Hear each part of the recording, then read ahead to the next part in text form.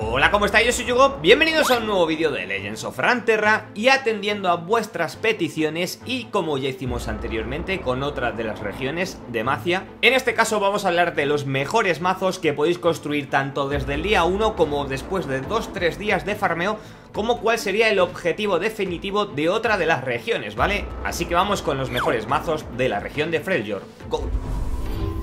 Al igual que ya hicimos en el vídeo de la región de Demacia, vamos a ver en esta ocasión tres barajas, la primera que sería esta de Chip Control, que es una baraja que podemos montar desde el primer día, ya que vamos a poseer desde el principio más del 80% de las cartas necesarias para hacerla. Este segundo mazo, que sería Control con Lobos, bastante útil cuando nos enfrentamos a barajas que tienen muchas unidades con elusivo. Y por último, la War Model Control, que sería una de las barajas más populares de la Closet Beta y que poco a poco se comienza a ver de nuevo a medida que el meta se va estabilizando. Comenzamos con la Chip Control, como su propio nombre indica, es una baraja barata, ya no solo de montar, sino también de jugar. Como veis tenemos bastante coste 1, 2, pero no nos quedamos cortos de cartas más caras para el late de la partida. Guarda un buen equilibrio entre unidades y hechizos y campeones, lo bueno de esta baraja es que utilizaríamos todos aquellos que ya nos dan por defecto cuando terminamos los tutoriales, por lo tanto no necesitamos comprar ninguno. Estamos hablando de dos copias de Lise, una copia de Brown y por supuesto una copia de Trindamer para el late. Mantenemos la espina dorsal de todas las barajas de Islas de Sombras, ¿vale? Que sería Festín Infame, Vestigios del Más Allá, aunque solo llevamos dos copias,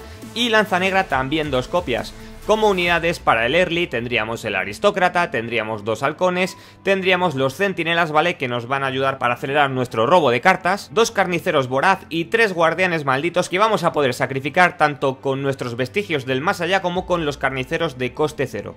Como veis no está centrada para nada en unidades del tipo araña, pero sí que es posible que Elise se mejore, ¿vale? Debido a las arañas que vamos a meter en juego, tanto con el aristócrata como cuando lancemos los festines infames, como cuando pegue la propia Elise. Además contaríamos con los tiradores, que son 3-1, nos viene bien para parar todas aquellas unidades que tengan temible y además podemos hacer uno de daño cuando entramos en juego, o bien para rematar, o bien para quitarnos del medio alguna unidad 3-1 2-1 que sea bastante molesta. Llevaríamos Brown, dos copias de avalancha, los Berg, ¿vale? Que sobre todo es están aquí para sacar las unidades tochas, que en este caso solo tendríamos dos, una sería el Trindamer y otra sería el Guardia del Hogar. En cualquiera de los casos no nos va a venir nada mal subirnos cualquiera de estas dos cartas a la mano lo antes posible. Llevaríamos dos copias del emisor etéreo, ¿vale? Que es una carta eh, bastante de risas, porque puedes invocar cualquier adepto de cualquier facción de coste 2 o más. Lo mismo te puede salir una unidad muy pequeña que otra que tenga muy buena sinergia dentro del mazo o que sea una unidad bastante tocha. Garras del Inmortal, muy útil para rematar unidades Podemos además matar con esto cantidad de campeones que tienen 3 de vida o menos. Lamento de Marchito está muy bien con las barajas de agro que se están viendo últimamente, que están llenas de arañas 2-1 y 3-1. Dos vientos helados, que es una de las mejores ráfagas del juego, para parar unidades gordas y una venganza. Como ya he comentado, eh, sería una baraja budget, no es la baraja más top del mundo, obviamente, ya que la vamos a poder jugar desde el primer día, pero no necesitamos comprar ninguna carta que sea épica ni campeón, por lo tanto no necesitamos comodines de este tipo. Sí que necesitaríamos comodines de raras y comunes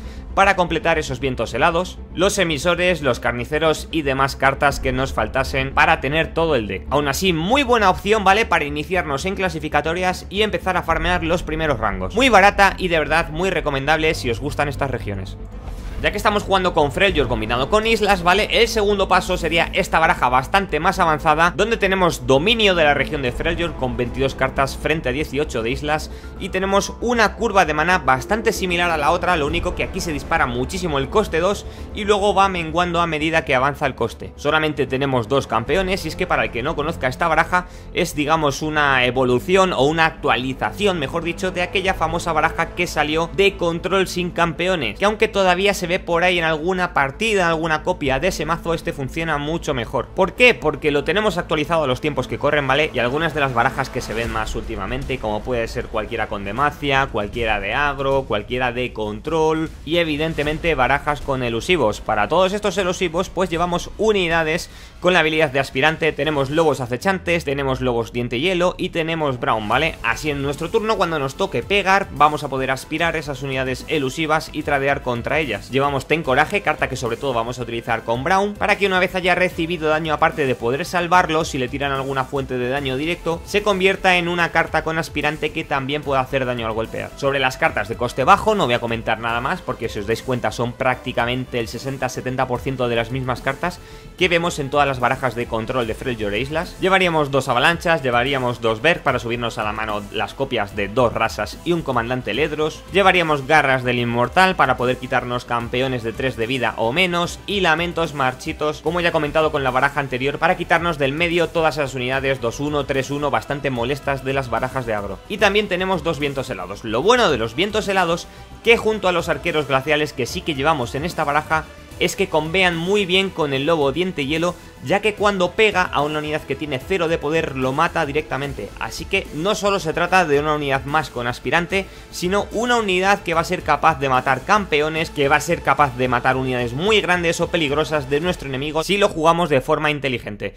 Eh, por último decir que yo he dejado una copia de la ruina, ¿vale? Porque no tengo la tercera carta de Brown, pero la baraja original sí que se juega con tres Browns para obviamente tener más probabilidades de que nos salga al inicio ese muro que nos va a venir muy bien sobre todo contra las barajas de agro. Y si os dais cuenta una de las ventajas y cosas buenas de este mazo, mazo mucho más competitivo y desde luego con el que vamos a poder subir bastante de rango, es que muchas de las copias que llevamos en esta baraja ya las venimos arrastrando desde la budget que habíamos jugado anteriormente de control. Por lo tanto, el cambio de una a otra nos va a llevar poco más de dos o tres días de farmeo entre que podamos meter los rasas, el comandante y los lobos. Por último tendríamos la War Mother Control, ¿vale? Muy famosa, como ya he comentado en la Closet Beta, uno de los mazos más top, tier 1, pero también uno de los mazos más caros y en los que más farmeo vamos a tener que invertir.